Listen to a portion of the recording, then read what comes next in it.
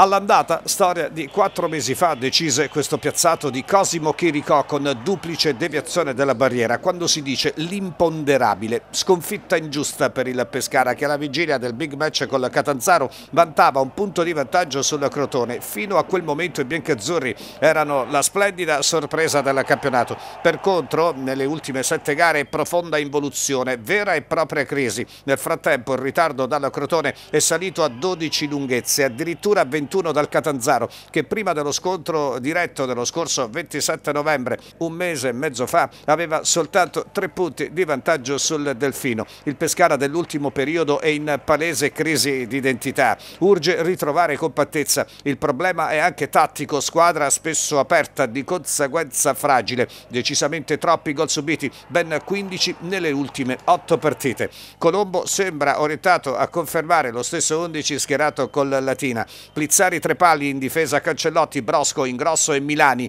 in leggero vantaggio quest'ultimo sull'ex Crescenzi. A centrocampo Craia, Aloy e Mora in attacco Cuppone, Tupta e De Sogus. Quinta panchina di fila per Facundo Lescano.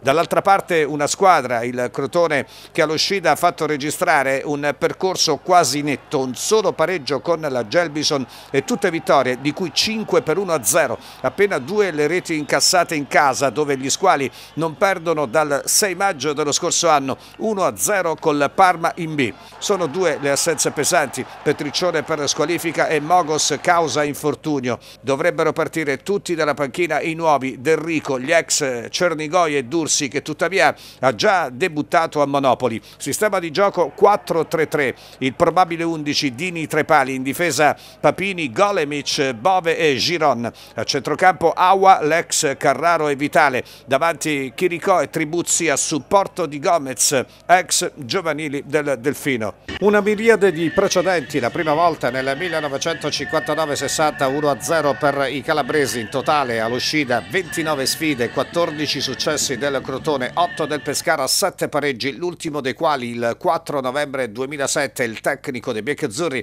era proprio Franco Lerda, a basso risponde Franco Micco, sempre in C, 2 marzo 2003 stesso risultato il Crotone dall'ex De Rosa incrocia il Pescara di Ivo Iaconi, poi promosso in B. Tra i rossoblù il leader era Ivan Juric, attuale allenatore del Torino. Bonfanti la sblocca grazie a questa magia di Federico Giampaolo. La giocata del fantasista biancazzurro è di altissimo lignaggio, 1-1 dell'ex Edoardo Artistico su calcio di rigore. In B, 15 dicembre 2006, la prima panchina di Vincenzo Vivarini in coppia con De Rosa, munito di patentino, finisce finisce 2-2. Il 23enne difensore di Giulianova, Stefano Olivieri, firma il suo primo gol tra i professionisti con questo perentorio colpo di testa momentaneo 1-1 di Nanni. Nuovo sorpasso del Delfino con Andrea De Falco, il 2-2 definitivo siglato da Cariello. 6 novembre 2010, il Pescara di Eusebio Di Francesco espugna l'uscita, decide questo sinistro da fuori di Massimo Bonanni.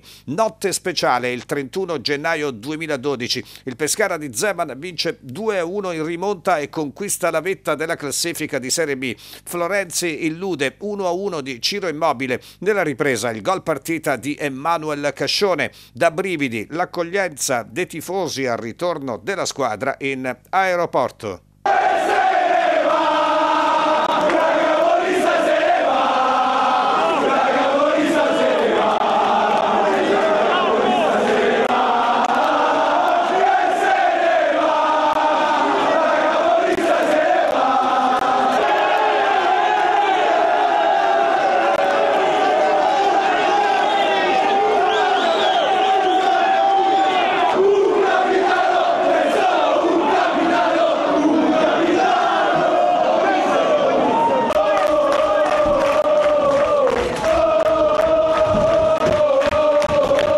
Sempre in B, due anni dopo, 8 febbraio 2014, netta sconfitta dell'11 di Pasquale Marino 3-0. Assoluto protagonista il non ancora ventenne Federico Bernardeschi in prestito dalla Fiorentina. Secondo gol da urlo al termine di una prestazione pazzesca. Dopo qualche mese, 12 ottobre 2014, affidato a Marco Baroni, il Pescara si riscatta e cala il poker. Apre Lazzari, raddoppia Pasquato, Politano fallisce il 3-0 dalla dischetto, Torre Grossa a accorcia, palo di Clayton Dos Santos e allora sale cattedra Federico Melchiorri, doppietta d'autore, due assoli strepitosi, il classe 87 e il mattatore della partita finisce 4-1. L'ultimo successo biancazzurro, 18 febbraio 2019, il Pescara di Beppi Pillon si impone 2-0, marcatori Monachello ispirato da Mancuso e Ugo Campagnaro, gol capolavoro di tacco su corner di Gaston Brugman. Infine in Serie C 31 agosto 2008, il giorno del debutto in campionato del quindicenne Marco Verratti utilizzato da Beppe Galderisi tra le linee alle spalle di Bazzani e Zeitulaev. Maglia numero 10 e malgrado la verdissima età, tante giocate di spessore. Eccone un paio. Vittoria tuttavia al Crotone di Francesco Moriero, poi promosso in B. 2-0 le firme di Triarico e di Espinal.